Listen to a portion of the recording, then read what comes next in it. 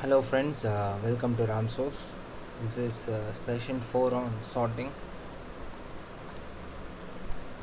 Uh, in your learning objectives பார்த்தீங்கன்னா what is sorting, types of sorting and uh, analysis of sorting.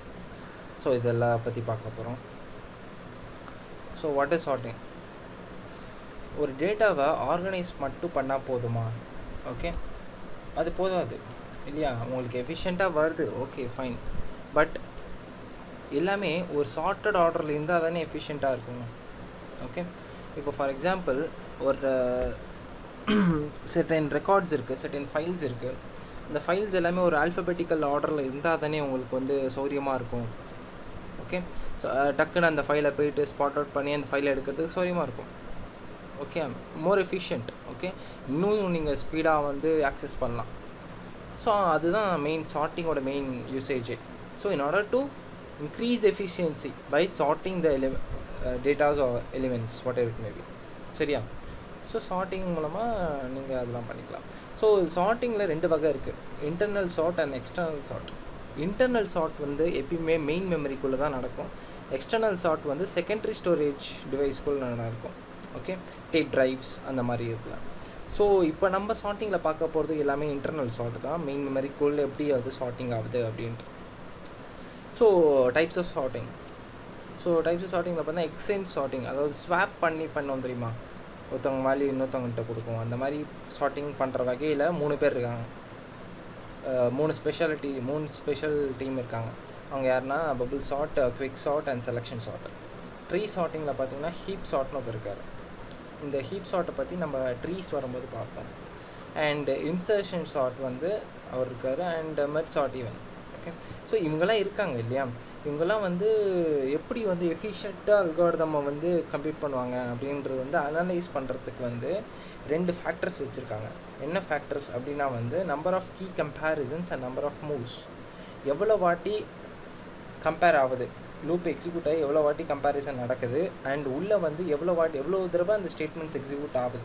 So இது எல்லாத்தையும் பற்றி சொல்கிறது தான் அனாலிசிஸ் ஓகே இது இந்த அனாலிசிஸ் பற்றி நம்ம ஃபஸ்ட்டு செஷனில் பார்த்தோம். எப்படி அனாலிசிஸ் பண்ணுறதுன்னு ஸோ இங்கேயும் நான் காட்டுறேன் சில அல்கார்தம்ஸ்க்கு சில sorting அல்கார்தம்ஸ்க்கு so initially bubble sort bubble sort இது one of the easiest sorting methods okay yeah யாரையாவது சார்ட்டிங் ப்ரோக்ராம் எழுத சொன்னீங்க அல்கார்தம் எழுத சொன்னாங்கன்னா இனிஷியலாக அவங்க வந்து பபுள் சார்ட் தான் எழுதுவாங்க. Because it's very easy just swap மட்டும் தான் நடக்குது. சரியா? ஸோ இதில் என்ன நடக்குதுன்னா comparing each value to the one immediately after it okay இப்போது இனிஷியலாக இப்படி இருக்குன்னு அன்சார்ட்டட் ஆர்டரில் இருக்குது பாருங்கள் டுவெண்ட்டி தேர்ட்டி டென்னு இனிமேல் அன்சார்ட்டட் ஆர்டரில் இருக்குது ஸோ இதை சார்ட்டட் ஆக்கணும்னா இப்போ ஃப if first is greater than second இப்போ ஃபஸ்ட்டு வந்து கிரேட்டர் தேன் செகண்டான்னு பார்க்கும் இல்லை twenty greater than thirty so swap ஆகாது. நெக்ஸ்ட்டு தேர்ட்டி கிரேட்டர் தேன் டென்னான்னு பார்க்கும் ஆமாம் ஸோ ஸ்வாப் ஆகிடும் ஸோ செகண்ட் பாஸில் பாருங்கள் டுவெண்ட்டி டென் தேர்ட்டி ஸ்வாப் ஆகிடுச்சா ஓகே இப்போது திருப்பியும் டுவெண்ட்டி கிரேட்டர் தன் டென்னான்னு பார்க்கும் yes so ten twenty thirty இப்போது ஷார்ட்டர் ஆர்டரில் வந்துச்சா? ஸோ இந்த ஷார்ட்டர் ஆர்டர் ஒரு அல்கோர்தம் இது. ஸ்வாப் ஃபங்க்ஷன் உள்ள தனியாக எழுதியிருக்கேன் டிஃபைனில் ஸோ இப்போ இந்த அல்கோர்தம் பாருங்கள் N minus one times outer loop execute ஆகுது இன்னர் லூப் வந்து என் டைம்ஸ் எக்ஸிக்யூட் ஆகுது. ஸோ இதை நீங்கள் இதை கம்பேரிசன் நடக்குது பாருங்கள் J minus one one minus one zero zeroth எலிமெண்ட்டும் ஒன்த் எலிமெண்ட்டும் கம்பேர் பண்ணுது. கிரேட்டர் அப்படின்ட்டு ஸ்வாப் மூலமாக கிரேட்டர் இருந்தால் தான் ஸ்வாப் ஆகுது இல்லைனா ஸ்வாப் ஆகலை. ஸோ இதுதான் bubble sorter algorithm just comparison மூலமாக நடக்குது எக்ஸ்சேஞ்சிங் ஸோ இதோட அனாலிசிஸ் பார்த்திங்க பார்த்தீங்கன்னா பெஸ்ட்டு கேஸில் ஓ ஆஃப் என் அப்படின்னு சொல்கிறாங்க ஏன் ஓ ஆஃப் என் அப்படின்னு சொல்கிறாங்க அப்படின்னா வந்து இப்போ for example number of moves மூவ்ஸே இல்லைனா ஐ மீன் உள்ள ஸ்டேட்மெண்ட்டே இல்லைனா அதாவது ஒரே ஒரு எலிமெண்ட் இருக்குன்னு வச்சுக்கோங்க. அப்போது நீங்கள் டேரெக்டாக போய்ட்டு அந்த எலிமெண்ட் தான் எடுத்தாங்க ரெடி கிடையாது. அந்த மாதிரி சுச்சுவேஷனில் ஒன்று வரும். அப்படி இல்லையா? எல்லா எலிமெண்ட்டுமே சார்ட்டடாகவே இருக்கா? அப்பயும் பிரச்சனை இல்லை. அப்போவும் ஒன்றா வரும். சரியா? ஸோ டக்குன்னு போய் நீங்கள் எடுத்துலாம் இல்லை சார்ட்டடு பொசிஷனில் அப்போது நீங்கள் கம்பேரிசன் பார்த்தீங்கன்னா என் மைனஸ் ஒன் தான் ஆகும். இன்கேஸ் எல்லாமே சார்ட்டட் ஆர்டரில் இருந்துச்சுன்னா அப்போ என் மைனஸ் ஒன் தான் ஆகும். ஐ மீன் தட் ஒரு வாட்டி தான் கம்பேர் ஆகும். ஓகே ஸோ அடிக்கடி கம்பேர் ஆகாது. ஸோ இந்த ஒரு வாட்டி கம்பேர் ஆகுதுனால இந்த கான்ஸ்டன்ட்ஸ் எதுவுமே வரக்கூடாதுன்னு நான் செஷன் ஒனில் சொன்னேன். ஸோ இந்த ஒன் ஒன் போயிடும். ஸோ என் மட்டும்தான் இருக்கும். So it is linear best case வந்து லீனியர் அப்படின்னு சொல்கிறாங்க அண்ட் ஒஸ்ட்டு கேஸ் பார்த்தீங்கன்னா என் ஸ்கொயர் ஏன் என் ஸ்கொயர் வருது அப்படின்னா வந்து இது for example reverse order I mean unsorted ஆர்டரில் இருந்துச்சுன்னா அவுட்டர் லூப் வந்து N minus one times execute ஆகும். இல்லையா? N minus one times execute ஆகும்போது இன்னர் லூப்பும் என் டைம்ஸ் எக்ஸிக்யூட் ஆகுது. ஸோ அப்போ N into N minus one times வந்து கம்பேரிசன்ஸ் நடக்குது. ஓகே இந்த N min to N minus one times comparisons நடக்கும்போது உள்ள மூணு ஸ்டேட்மெண்ட் இருக்குது ஸ்வாப்பில் பார்த்தீங்கன்னா T equal to A B equal to A A equal to B B equal to A B equal to T அப்படின்னு கொடுப்போம். சரிங்களா? அந்த ஸ்வாப்பிங்க்கு ஸோ அந்த மாதிரி கொடுக்கும்போது மூணு ஸ்டேட்மெண்ட்ஸ் இருக்குது இல்லையா? அந்த மூணு ஸ்டேட்மெண்ட்ஸும் வந்து three into N into N minus one so இதில் எல்லா கான்ஸ்டன்ஸும் போக உங்களுக்கு கடைசியாக மிஞ்சது இந்த என் ஸ்கொயர் தான். ஏன்னா N square minus N by two வரும். Okay N square by two minus N by two வரும். ஸோ இப்போ என் ஸ்கொயர் வந்து ஹையர் ஆர்டர் நான் ஃபஸ்ட் செஷனில் சொன்னேன் ஆர்டர் ஆஃப் மேக்னிடியூட் எப்பயுமே ஹையராக இருக்கணும். லார்ஜஸ்ட் டேர்மாக தான் பிக் அவுட் பண்ணும். என்ன பிக் அவுட் பண்ணாது? It's linear in nature N square வந்து குவாட்ராட்டிக் எது வேர்ஸ்ட் கேஸ் எது ஹையஸ்ட்டாக போகும் அப்படின்னு பார்க்கும்போது என் ஸ்கொயர் தான். ஆவரேஜ் கேஸும் அதே மாதிரி தான் ஆகும். பட் மோஸ்ட் கேஸில் உங்களுக்கு வந்து எல்லாமே சார்ட்டடாக இருக்காது. ஸோ அதனால் ஆவரேஜ் கேஸும் என் ஸ்கொயராக வச்சுருக்காங்க. ஸோ இப்படி தான் ஒரு ஷார்ட்டிங் அல்காரம் நீங்கள் அனலைஸ் பண்ணோம் அதோட டைம் காம்ப்ளெக்சிட்டியை கண்டுபிடிக்கணும். ஓகே இப்போ செலெக்ஷன் ஷார்ட்டில் பார்த்தீங்கன்னா ஃபர்ஸ்ட் எலிமெண்ட்டோட மினிமல் எலிமெண்ட்டை கம்பேர் பண்ணோம் மினிமல் எலிமெண்ட் என்னென்னா ஒரு லிஸ்ட்டில் இருக்கிற minimum element minimum value element இப்போ அந்த எலிமெண்ட்டை வச்சு ஃபஸ்ட் எலிமெண்ட்டை வந்து கம்பேர் பண்ணுறோம் கம்பேர் பண்ணி இப்போ டுவெண்ட்டி இஸ் கிரேட்டர் தேன் டென்னான்னு பார்க்குது. ஓகே ஃபஸ்ட் எலிமெண்ட்டோட மினிமம் எலிமெண்ட்டை கம்பேர் பண்ணி. டுவெண்ட்டி இஸ் கிரேட்டர் தேன் டென்னு பார்க்குது. ஆமாம் ஸோ அதனால் ஸ்வாப் பண்ணுது. இங்கே ஸ்வாப் பண்ணுது பார்த்தீங்கன்னா அல்காரிதமில் ஸோ மினிமம் இண்டெக்ஸோட ஸ்வாப் பண்ணுது. ஸ்வாப் பண்ணால் டென் டுவெண்ட்டியோட பொசிஷன் டென் படம் டென்னோட பொசிஷன் டுவெண்ட்டி படம். Okay this is for pass one once ten has become சார்ட்டட்னா இது சார்ட்டட் அரேக்குள்ளே வந்துடும் okay comes under sorted array இப்போது அன்சார்ட்டில் பார்த்தீங்கன்னா தேர்ட்டி அண்ட் டுவெண்ட்டி தான் இருக்குது ஓகே ஸோ இப்போது இது வந்து ஃபஸ்ட்டு இது செகண்டு இல்லையா? இப்போது இதோட இதோட இது அதிகமாக இருக்குது ஸோ இது ரெண்டுத்தையும் ஸ்வாப் பண்ணிடுது so all the three comes under the array of sorted so இதுதான் செலெக்ஷன் சார்ட் ஓகே இதோட காம்ப்ளெக்சிட்டி வந்து என் ஸ்கொயர் அப்படின்னு சொல்லியிருக்காங்க. ஏன் N square N minus one outer loop N inner loop so N into N minus one okay அப்படி பண்ணும்போது N in ten minus one divide by two வரும்போது it becomes a arithmetic progression அப்படியே போயிட்டே இருக்கும். N in ten minus one divide by two ஒன்று ரெண்டு மூணாமே கடைசி வரை N in ten minus one by two வரும். ஸோ அரித்மெட்டிக் ப்ரோக்ரஷன் ஆகுது. அரித்மெட்டிக் ப்ரோக்ரஷன் ஆச்சுன்னா நான் ஆல்ரெடி சொன்ன மாதிரி ஹையர் ஆர்டர் டேர்மாக பிக் பண்ணும். N square by two minus N by two வரும். ஸோ என் வராது லீனியர் வராது. ஸோ குவாட்ராட்டிக்காக இருக்க என் ஸ்கொயர் தான் வரும். அதனால தான் என் ஸ்கொயருங்கிற காம்ப்ளெக்சிட்டி வந்துச்சு. அதுதான் இங்கே நம்ம அனலைஸ் பண்ணியிருக்கோம் பாருங்கள் பெஸ்ட்டு ஃபஸ்ட்டு ஆவரேஜ் எல்லாமே என் ஸ்கொயர் தான் இல்லை ஓகே ஸோ அனாலிசிஸ் முடிஞ்சது. நெக்ஸ்ட் இஸ் இன்சர்ஷன் ஓகே நம்ம இன்சர்ஷனுக்கும் வேறாஸ் செலெக்ஷனுக்கும் ஒரே ஒரு வித்தியாசம் தான். செலெக்ஷனில் ஒரு மினிமல் எலிமெண்ட்டை செலக்ட் பண்ணி அந்த மினிமல் எலிமெண்ட்டை வச்சு கம்பேர் பண்ணுவோம் பட் வேறாஸ் இன் இன்சர்ஷன் ஒரு ஃபஸ்ட் எலிமெண்ட் எடுத்துகிட்டு அந்த ஃபஸ்ட் எலிமெண்ட்டை வந்து அந்த அரே லிஸ்ட்டில் வந்து எங்கே ப்ளேஸ் பண்ணலாங்கிறத மட்டும்தான் பார்க்குறோம் வேறு இன்னும் பண்ணல. இப்போ பார்த்தீங்கன்னா அந்த டுவெண்ட்டி தேர்ட்டி டென் இருக்குது இப்போ ஃபஸ்ட் எலிமெண்ட் வந்து டுவெண்ட்டி ஸோ டுவெண்ட்டி அப்படியே வச்சுருக்குறோம். ஸோ அது ஸ்வாப் பண்ண twenty is compared to thirty okay thirty compare பண்ணால் டுவெண்ட்டி கம்மி தான் ஸோ ஷார்ட்டடாக தான் இருக்குது அதனால் டுவெண்ட்டி இங்கே வச்சிட்டோம். Okay when compared to thirty twenty sorted sorted இல்லையா? அதனால் டுவெண்ட்டி அப்படியே வச்சிட்டோம். இப்போ தேர்ட்டிக்கும் டென்னுக்கும் கம்பேர் பண்ணுறாங்க இப்போ தேர்ட்டி பெரிய வரும் இல்லையா? அதனால் ஸ்வாப் பண்ணிடுறோம். ஸோ டுவெண்ட்டி டென் தேர்ட்டின்னு வருது. So in order thirty is greater than ten okay so இப்போ பாஸ் டூவில் பார்த்தீங்கன்னா twenty ten thirty is for pass one pass டூவில் பாருங்கள் டென் முன்னாடி வந்தது. ஏன்னா டுவெண்ட்டியும் டென்னும் கம்பேர் பண்ணும்போது டுவெண்ட்டி பெருசு. அதனால் டென்னு முன்னாடி வந்து டுவெண்ட்டி நடுவில் வந்துடுது அதுதான் இங்கே சொல்லியிருக்கோம். இந்த அல்காரதமில் பாருங்கள் ஸ்வாப்பிங் இது மூணுமே எக்ஸ்சேஞ்ச் ஷார்ட்டிங் தான் நடக்குது பாருங்கள் இதுவரை நம்ம பண்ணது எல்லாமே எக்ஸ்சேஞ்சு தான் பண்ணியிருக்கோம். ஓகே ஜஸ்ட் ஸ்வாப் பண்ணி பண்ணுறது ஸோ இதுக்கும் காம்ப்ளெக்ஸிட்டி என் ஸ்கொயர் தான். ஓகே பிகாஸ் என் டைம்ஸ் அது எக்ஸிக்யூட் ஆகுது. ஓகே இப்போ என்ன லூப் வந்து N minus one times execute ஆச்சுன்னா அதே ப்ராப்ளம் தான்.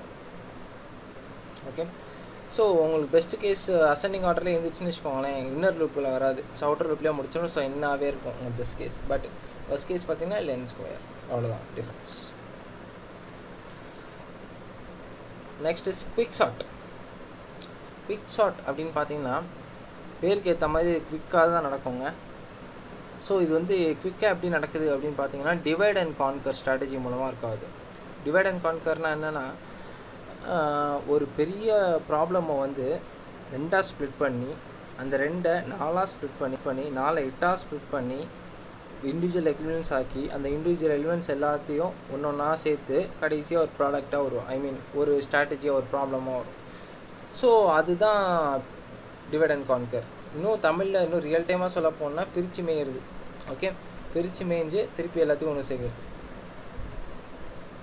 அதுதான் divide and conquer strategy அதுக்கோட time complexity N log N அப்படின்னு சொல்லியிருக்காங்க. என் லாகின் இந்த காம்ப்ளெக்சிட்டிஸ்லாம் எப்போ வரும்னா நான் ஆல்ரெடி செஷன் ஒன்லேயே சொன்னேன். லாகின் அப்படிங்கிற காம்ப்ளெக்சிட்டி வந்து எந்தெந்த அல்காரிதம் வந்து ஜஸ்ட் ஸ்பிட் அப் மட்டும் பண்ணுதோ எந்தெந்த அல்காரிதம் பிரித்து மட்டும் எய்தோ ஓகே ஸ்பிட் அப் மட்டும் பண்ணி ஒன்று சேர்க்கல அதுக்கெலாம் வந்து லாகின் வரும். இன்கேஸ் கடைசியில் எல்லாத்தையும் ஒன்று சேர்த்துட்டாங்க அப்படின்னா வந்து அது என் லாகின்ங்கிற காம்ப்ளெக்சிட்டி வரும். அதுதான் டிஃப்ரென்ஸ்ன்றதுக்கு ஓகே ஸோ இதில் குவிக் ஷாட்டில் பார்த்தீங்கன்னா மொத்தம் மூணு பேசிக் ஸ்டெப்ஸ் இருக்குது என்னென்ன ஸ்டெப் அப்படின்னா வந்து choose a pivot value pivot அப்படின்னா என்னென்னா மிடில் வேல்யூ ஓகே மிடிலாக கூட இருக்கலாம் இல்லைனா பாசிபிளி மிடில் மிடிலாக இருந்ததுன்னா சௌரியம் இல்லையா? எந்த லிஸ்ட்டில் இருக்கிற எந்த வேல்யூவாக இருந்தால் இருக்கும் ஓகே அதுதான் பிவட் வேல்யூ இந்த பிவட் வேல்யூவை எப்படி கண்டுபிடிக்கிறது அப்படின்னு பார்த்தீங்கன்னா ரெண்டு எக்ஸ்ட்ரீம்ஸ் இருக்கும் ஓகே ஒன்று வந்து ஐ ஐத் எலிமெண்ட் இன்னொன்று jth element ith pointer jth பாயிண்டர்னு சொல்லுவாங்க. அந்த ஐத் பாயிண்டர் வந்து ஃபஸ்ட்டு எலிமெண்ட்டை பாயிண்ட் பண்ணிட்டுருக்கோம் ஜேத் பாயிண்டர் வந்து லாஸ்ட் எலிமெண்ட்டை பாயிண்ட் பண்ணிட்டுருக்கோம். இப்போ பார்ட்டிஷன் வந்து ரீஅரேஞ்ச் ஒரு எலிமெண்ட்டை ரீஅரேஞ்ச் பண்ணதுக்கு பார்ட்டிஷன் பண்ணணும் நெக்ஸ்ட் அதை ரீஅரேஞ்ச் பண்ணிட்டு பார்ட்டிஷன் ஆனோடனே ரெண்டு பார்ட்டியும் ஒன்று சேர்க்கணும். அவ்வளோதான் வேலை. ஸோ இது எப்படி நடக்குது அப்படின்னு பார்த்தீங்கன்னா ஐ பாயிண்டர் சொன்னேன் இல்லையா? ஐ வந்து முன்னாடி அதாவது ஃபார்வர்ட் போயிட்டே இருக்கும். எப்போ வரையும்னா பிவட்டோட அதாவது I moves forward until all element greater than P equal to pivot பிவட்டோட எல்லா எலிமெண்ட்டும் ஐத் எலிமெண்ட் எல்லாமே கிரேட்டராக இருக்கணும் அப்படின்னா ஃபார்வர்டில் மூவ் ஆகிட்டே இருக்கும். ஓகே ஜே வந்து பேக்வேர்டில் மூவ் ஆகிட்டே இருக்கும். எப்போ அப்படின்னா வந்து எல்லா எலிமெண்ட்டும் பிவட்டோட கம்மியாக இருக்கணும். ஐயில் பிவோட் எல்லா எலிமெண்ட்டும் பிவோட்டோட அதிகமாக இருக்கணும். ஜேயில் எல்லா எலிமெண்ட்டும் பிவோட்டோட கம்மியாக இருக்கணும். இன்கேஸ் ரெண்டுமே சே ஈக்குவலாக இருக்குன்னு வச்சுக்கோங்க. அப்போ அந்த கேஸில் உங்களுக்கு அவுட்புட் கிடச்சிரும். ஓகே ரெண்டும் ஐ மீன் பிவோட் வேல்யூஸே இருந்துச்சுன்னா அவுட்புட் கிடச்சிரும். இன்கேஸ் ஐ வந்து ஜேயை தாண்டி போயிடுச்சுன்னா so when is I is greater than J algorithm stop ஆகிடும் ஓகே ஐ எப்பயுமே ஜே வந்து ஐயோட கம்மியாக தான் இருக்கணும். ஐயோட ஜே அதிகமாகிடுச்சுன்னா அதுக்கு அடுத்த ஸ்டாப்பர் அதுதான் இந்த கண்டிஷன் சரியா? இப்போ இந்த எக்ஸாம்பிள் பாருங்கள் டுவெண்ட்டி தேர்ட்டி டென் ஐ வந்து ஜே டுவெண்ட்டிக்கு வந்து ஐ பாயிண்ட் ரசன் பண்ணிருக்கேன் டென்னுக்கு வந்து ஜே பாயிண்ட் ரசன் பண்ணிருக்கேன் இப்போ பிவட் வேல்யூ பார்த்தீங்கன்னா தேர்ட்டி சும்மா நான் எடுத்திருக்கேன் வேல்யூஸ் இப்போ பிவட் வேல்யூவோட நான் என்ன சொன்னேன்? ஐ வேல்யூ வந்து I mean I I moves forward until all element are greater than equal to pivot thirty வந்து டுவெண்ட்டியோட கிரேட்டர் ஆனால் டுவெண்ட்டி வந்து லெஸ்ஸர் இல்லையா? ஆனால் ஐ என்ன சொல்லியிருக்கோம்? அப்போ தான் ஃபார்வர்ட் போக சொல்லியிருக்கோம். இல்லையா? ஸோ ஐத்து பாயிண்டர் வந்து டுவெண்ட்டியில் தான் இருக்கும். அதில் என்ன சேஞ்சும் இல்லை. பட் ஜேத்து பாயிண்டர் வந்து இதோட கம்மி தான். ஸோ அதனால் ஸ்வாப் பண்ணிவிடுது பாருங்கள் ஸ்வாப் பண்ணிவிட்டு இந்த ஜேத்து பாயிண்டரை வந்து ஸ்வாப் பண்ணிவிடும் ஐ மீன் தேர்ட்டி வந்து இங்கே வந்துடும் டென் இங்கே வந்துடும் ஓகே அதுதான் இங்கே நடந்திருக்கு. ஸோ இது முடிஞ்ச அப்புறம் என் பாசஸ்க்கு அப்புறம் இதே மாதிரி ஓகே என் பாசஸ்க்கு அப்புறம் பா பிவோட் வேல்யூ வந்து இன்சைட் போயிடும். ஸோ ஐ வந்து ஜேயோட கிரேட்டர் ஆகிடும் அந்த மாதிரி சுச்சுவேஷனில் வந்து அல்காரதம் ஸ்டாப் ஆகிட்டு எந்த பாஸில் உங்களுக்கு இந்த மாதிரி ரிசல்ட் கிடைக்கும். ஸோ இதுலேருந்து நீங்கள் கவனிக்க வேண்டியது என்னென்னா லாஜிக் ஒன்றே ஒன்று தான் குவிக் ஷாட்டுக்கு பிவட் எலிமெண்ட் அதாவது லிஸ்ட்டில் இருக்கிற எல்லா எலிமெண்ட்டும் பிவட் எலிமெண்ட்டோட அதிகமாக இருந்துச்சுன்னா ஐத்து பாயிண்டரை ஃபார்வர்டில் மூவ் பண்ணு. இன்கேஸ் எல்லா எலிமெண்ட்டும் பிவட்டோட கம்மியாக இருந்துச்சுன்னா ஐத்து பாயிண்ட் ஜெயித்து பாயிண்டரை லெஃப்டில் மூவ் பண்ணு. அப்படி குறைச்சிக்கிட்டே வா ஐத்தை இன்க்ரிமெண்ட் பண்ணிட்டே போ. ஓகே இன்கேஸ் ஐ வந்து ஜேயோட கம்மியாக இருந்துச்சுன்னா ஸ்வாப் பண்ணு. இல்லைனா லூப்பை விட்டு வெளில வந்துடு இவ்வளோ தாங்க. ஃபிக்ஸ் ஆட் ஓகே நீங்கள் கவனிச்சுக்க வேண்டியது pivot ith point jth pointer அப்புறம் இந்த கண்டிஷன் அவ்வளோதான் okay next is merge sort okay big sort பார்த்தோம். அதே மாதிரி மர்ச் ஷாட் மர்ச் ஷாட் பார்த்தீங்கன்னா இட்ஸ் ஆல்சோ ரிகர்சிவ் அல்காரிதம் திருப்பி திருப்பி அந்த ஃபங்க்ஷனை கூப்பிட்டுக்கும். இட் ஆல்சோ ஒர்க்ஸ் அந்த concept of divide and conquer okay இது எப்படின்னா ஒரு அரே இருக்குன்னு வச்சுக்கோங்க அன்சார்டட் அரே அது அதை வந்து ரெண்டு பாதியாக வந்து பிரிச்சுக்கும். ஓகே அந்த ரெண்டு பாதியாக பிரித்து அது ஷார்ட் பண்ணிக்கும். அதுக்கப்புறமா கடைசியாக எல்லாத்தையும் ஒன்று சேர்த்தோம். ஸோ இது எப்படி நடக்குது அப்படின்றத பார்க்கணும் எப்படின்னா இந்த பாருங்கள் divide the array in half array ஆஃபாக declare பண்ணிட்டு இந்த ஆஃபை வந்து ஷார்ட் பண்ணுறோம் ஷார்ட் பண்ணி முடிச்சிட்டோம். ஸோ ஓகே ஷார்ட் பண்ணி முடிச்சாச்சு அப்படின்ன உடனே இப்போ பாருங்கள் one lesser than two so move one from the left half to the temporary இதில் உனக்கு ஒன் நீங்கள் உன்னிப்பாக ஒன்று கவனிக்கணும். எப்பயுமே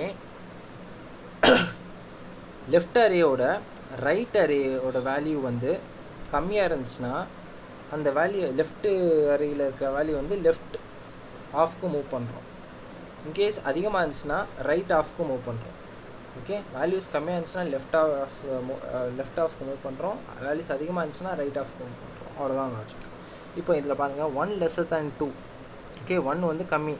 ஸோ அதனால் லெஃப்ட் பார்ட்டுக்கு மூவ் பண்ணிடுறோம். Okay next is one is greater than I mean அதே மாதிரி ஒன் கிரேட்டர் தேன் த்ரீன்னு பார்க்குது. இல்லை அதான் ஒன் லெஃப்ட் பார்ட்டுக்கு மூவ் பண்ணியாச்சு. அடுத்தது ஃபோர் இஸ் கிரேட்டர் தேன் டூவான்னு பார்க்கும். இது four is greater than two yes அதனால் ஃபோரை வந்து ரைட் பார்ட்டுக்கு மூவ் பண்ணுது. பாருங்கள் ரைட் பார்ட்டுக்கு மூவ் பண்ணியாச்சு. அதே மாதிரி ஃபோர் இஸ் கிரேட்டர் தேன் த்ரீயா ஆமாம் ரைட் பார்ட்டுக்கு மூவ் பண்ணியாச்சு. Next is eight is greater than டூவான்னு பார்க்கும். எஸ் அதனால் ரைட் பார்ட்டுக்கு ஃபோருக்கும் கிரேட்டர் தானே எயிட்டு ஸோ அதனால் இன்சைட் மூவ் பண்ணுறோம் ஸோ அதே மாதிரி எயிட் இஸ் கிரேட்டர் த்ரீயான்னு பார்க்குது. ஆமாம் ஸோ இதுதான் இப்போ சார்ட்டட் ஆர்டர் இல்லையா? One two three four eight okay so once எல்லாருமே ஷார்ட் ஆகிடுச்சுன்னா இண்டிவிஜுவல் எலிமெண்ட்ஸ் இதுமே ஷார்ட்டே பண்ண முடியாத ஒரு சுச்சுவேஷன் ஆகிடுச்சுன்னா அவங்க தான் அல்காரிதம் ஸ்டாப் ஆகுது. ஸோ இதெல்லாம் நீங்கள் என்ன தெரிஞ்சுக்கணுன்னா ஒரு பெரிய அரையை அன்சார்ட்டட் அரையை ஸ்ப்ளிட் அப் பண்ணி ரெண்டு ஆஃபாக okay not equal halves equal halves இருந்தால் வெல் அண்ட் குட் ஈக்குவல் இல்லாட்டி கூட பரவாயில்ல. ஓகே ஸ்ப்ளிட் அப் பண்ணிட்டு அந்த உள்ளே இருக்கிற வேல்யூஸை சார்ட் அவுட் பண்ணிட்டு அந்த சார்ட் அவுட் பண்ணதை வச்சு ரெண்டு அரையும் கம்பேர் பண்ணி going to sort the values okay இதுதான் இங்கே நடக்குது. இன் மர்ட் சார்ட் ஸோ நான் ஆல்ரெடி சொன்ன மாதிரி பிரித்து மேய்ஞ்சிட்டு திருப்பி எல்லாத்தையும் ஒன்று சேர்த்துறாங்க. அதனால் இதோட complexity n log n okay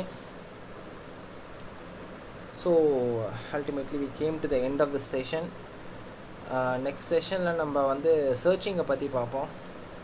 okay thank you bye